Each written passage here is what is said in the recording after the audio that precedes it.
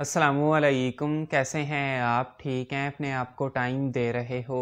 अपने आप को टाइम देना शुरू कर दें और मुस्कुराया करें, ज़िंदगी बेहतर बन जाएगी। आज हम बात करेंगे कि कुछ लोग ऐसे होते हैं जो आपका सिर्फ़ वक्त ज़ाया कर रहे होते हैं।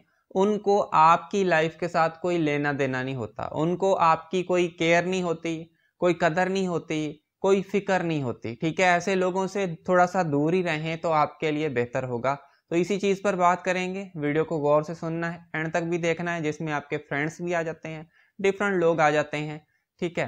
तो इस वीडियो को आपने सुनना है, सारी वीडियो को सुनना है, ताकि आपको चीज़ें समझ में आए। उसके अलावा अगर आपका कोई प्रॉब्लम है, आप चाहते हैं कि उस पर जो है ना, आप मेरे साथ बात करना चाहते हैं तो इस नंबर पर टेक्स्ट करके आप कॉल बुक करा सकते हैं। कॉल के कुछ चार्जेज हैं। ये तभी आपने बुक करानी है जब आपको समझ नहीं आ रही किसी चीज़ की। अदरवाइज़ आप कॉल बुक मत कराएँ, आप इंस्टाग्राम पर मुझे टेक्स्ट करें, ठीक है? देखिए सबसे पहली चीज़ याद रखिएगा, ऐसे लोग पता क्या करते हैं? इन, इनका सबसे पहला और सबसे बड़ा मसला पता क्या होता है? ये आपके वक्त को वक्त नहीं समझते। अपने वक्त को वक्त समझेंगे, आपके वक्त को वक्त नहीं समझेंगे। कैसे? मैं आपको बताता हूँ। ये लोग पता क्या करते हैं? आपने इनको टेक्स्ट किया, ये आपको लेट से रिप्लाई देंगे। बोलेंगे, हम बिज़ी थे, ये, वो हो गया। लेकिन जब ये आपको टेक्स्ट करते हैं, आपको कॉल करते हैं, आपके साथ कांटेक्ट करने की कोशिश करते हैं तो ये ये एक्सपेक्ट करते हैं कि ये हमें फ़ौरन रिप्लाई करें या हम कॉल करें, बस ये बैठे हुए हो हमारे इंतज़ार में, हमारी कॉल पिक हो जाए। ये इनकी नेचर ऐसे होती, खुद रिप्लाई नहीं करेंगे टाइम पर। खुद टाइम से रिस्पॉन्स नहीं करेंगे, दूसरे से, यानी कि आपसे एक्सपेक्ट करेंगे कि आप फ़ौरन रिस्पॉन्स करें। अगर आप फ़ौरन रिस्पॉन्स नहीं करते, आप भी ज़ाहिर बात है बिज़ी होते हैं, काम होते हैं, घर के सब्ज़ी लानी, बर्तन धोने तो काम है ना आपको भी। तो आप जब बिज़ी हैं अपने कामों में, आप कॉल आपने पिक नहीं की तो ये लोग आपसे नाराज़ हो जाते हैं। आपने कॉल पिक नहीं की जी। खुद जो भी करते रहे, खुद का रवैया जैसे भी है, उस रवैये पर उनको कुछ भी नहीं है। लेकिन आपका रवैया थोड़ा सा चेंज हुआ। इनको तो मसला पैदा हो गया। तो ये लोग आपका टाइम ज़ाया कर रहे होते हैं, ठीक है? जहाँ पर टाइम ज़ाया करने की बात नहीं होती, वहाँ पर आपको इंपॉर्टेंस दी जाती है, वहाँ पर आपकी केयर भी की जाती है। ये नहीं कि अपने ही टाइम को देखना, अगले के टाइम को कोई कीमत ही ना देना। या समटाइम ऐसे भी होता है, आपने खुद अपने टाइम को बेवकत बना दिया है। आपने खुद अपने टाइम की कदर नहीं की, फिर लोग भी कहेंगे, ये तो फ्री है, वेला बंदा है। तो उस आप पर गुस्सा करेंगे, वेले होकर भी कॉल अटेंड नहीं करते। तो ये सीन भी होते हैं, कुछ हमारी अपनी पर्सनल गलतियाँ भी होती हैं, ठीक है? याद रखना। सेकंड चीज़, इनके पास एक कमज़ोरी होती है आपकी। पता कौन सी? इनको पता है, याद रखना मेरी बात, इनको पता होता है कि हम इनसे डिस्टेंस मेंटेन करेंगे।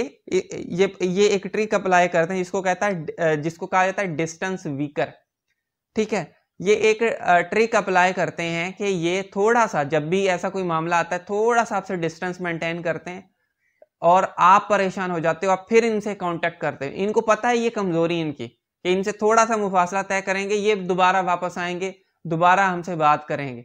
फिर जब भी थोड़ा सा भी कोई मसला होता है, थोड़ा सा भी कोई प्रॉब्लम होता है, ये थोड़ा सा पीछे हटते हैं और आप फिर इनकी तरफ़ भागते हो। इनके पास ये वाली आपकी कमज़ोरी उनको पता है हम इनसे पीछे हटेंगे, ये जो है ना डेस्परेट हो जाएँगे, इन, ये जो है ना पागल होने होने लगेंगे, ये दोबारा से आएँगे। तो ये आपके पास कमज़ोरी होती है और इसको कहा जाता है डिस्टेंस वीकर आप डिस्टेंस वीकर हैं, आपसे थोड़ी सी दूरी इख्तियार कोई कर रहा है, आप कमज़ोर पड़ जाते हो और फिर जो है ना आप उनके साथ कांटेक्ट करने की कोशिश करते हैं, आप डिफरेंट जो है ना एक्ट करते हैं, ये चीज़ें करते हैं, ठीक है? और उसके अलावा इनको कहा जाता है they are only good to themselves वो अपने लिए बड़े अच्छे होते हैं। अपने आप के लिए लाइक ये सेल्फिश होते हैं। अपनी, अपने काम, अपनी चीज़ें सब टॉप पर प्रायोरिटी पर हैं। आपकी लाइफ आपके काम, आपकी चीज़ें, उनकी कोई फ़िक्र नहीं है। आपकी फीलिंग्स कोई फ़िक्र नहीं है। अपनी फीलिंग्स की फ़िक्र है। अपने वक्त की फ़िक्र है। अपनी चीज़ों की फ़िक्र है। आपकी लाइफ में क्या हो रहा है? आप किस परेशानी से गुजर रहे हो? उसका कुछ पता नहीं है। परेशानी शेयर करना चाहो, ये सुनेंगे नहीं। अपनी इनको परेशानी हो तो भागते आएँगे। ये इस टाइप के लोग होते हैं, याद रखना मेरी बात। बड़ी कीमती बातें मैं आपके साथ शेयर कर रहा हूँ और ये बातें हर जगह, हर एंगल पर अप्लाई भी नहीं होती। समटाइम हमें देखना पड़ता है, नफ्सियात भी देखनी पड़ती है। ये अपने जहन से ही किसी पर अप्लाई मत कर दें। मे भी उस, कहीं पर आपकी अपनी गलती भी हो। ऐसा भी होता है, हमारी अपनी गलती होती है, जिसके बाद हम कसूर अगले का निकाल रहे होते हैं। तो ये भी होता है, याद रखना मेरी बात। उसके अलावा इनको कहा जाता है अपॉर्चुनिस्टिक ठीक है? ये लोग बस अपॉर्चुनिटी देखते हैं कि इनमें इनमें कोई काम पड़ता है लाइक कोई भी काम पड़ा ये बस वो आ, आ जाएँगे। या इन्होंने देखा कि यार इनके पास कुछ आया है आ जाएँगे। लाइक पैसे आपके पास आएँगे आ, आपके पास आ गए इधर से हँसते मुझते ये वो पैसे निकाल के चले गए। ऐसे डिफरेंट टाइप की चीज़ें आपके साथ करेंगे। आप बैठे जो है ना देखते रह जाएँगे हाथ पे हाथ बाँध कर जो है ना आप देखेंगे कि हुआ क्या मेरे साथ। तो ये लोग आपके साथ ऐसा कर रहे होते हैं और आप जो है ना बैठे हैं बस अपने नशे में गुम हो कि खैर है ऐसा नहीं होता। थोड़ा सा कॉन्शियस हो जाए। देखो रिश्ते चलाने हैं लेकिन रिश्तों में ऐसा भी नहीं होना चाहिए कि आपकी कोई वैल्यू नहीं है। ठीक है आपकी कोई बुक्कत नहीं है कोई कदर नहीं है। और कदर और वैल्यू के लिए कभी लड़ा नहीं जाता। लाइक like सपोज़ करें आ, आपकी वैल्यू मेरे पास नहीं है। सपोज़ एग्ज़ाम्पल दे रहा हूँ तो अब क्या मुझसे लड़ोगे? कि तुम मुझे वैल्यू क्यों नहीं दे रहे? वैल्यू दो, कैसे नहीं देते? मैं तुम्हें ब्लॉक कर रहा हूँ। आप इस गुस्से में आप अपनी डीपी रिमूव कर देते हो। करते हैं ना लोग, आप अपनी डीपी रिमूव करके बैठ जाते हो तो मुझे क्या फ़र्क पड़ेगा? समझ लग रही है? तो इस टाइप की चीज़ें कर रहे होते हैं लोग। याद रखिएगा मेरी बात, ठीक है? उसके अलावा आपकी लाइफ की इनको कोई परवाह नहीं है, याद रखिएगा। और आप एक बहुत बड़ी जो है ना चीज़ फेस कर रहे होते हो आप अपने आप को ये फील करते हो अपने आप आ, आपकी लाइफ से या अपने आप से कि आप इतने गुड नहीं हो। You are not enough good अच्छे नहीं हो। मतलब इन्होंने अपना रवैया ऐसे रखा होता है कि आपको ये डाउटफुल कर देते हैं।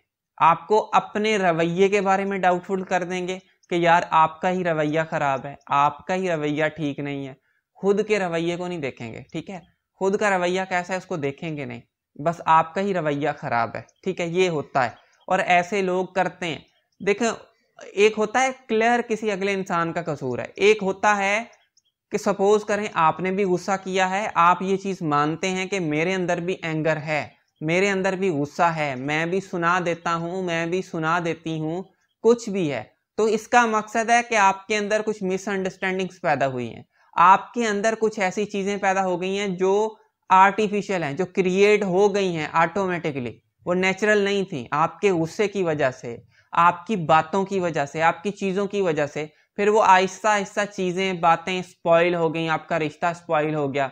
तो ये चीज़ होती है। समटाइम क्या होता है कि आप ना गुस्सा करते हैं, आप केयर करते हैं, ना आप शिकायतें करते हैं, ना कभी आपने मिन्नतें की। आप नेचुरल लाइफ अपनी गुजार रहे हो हँसी खुशी के साथ फिर भी किसी का रवैया आपके साथ बहुत बुरा है, फिर भी कोई आपकी कदर नहीं कर रहा तो फिर वहाँ पर कसूर होता है।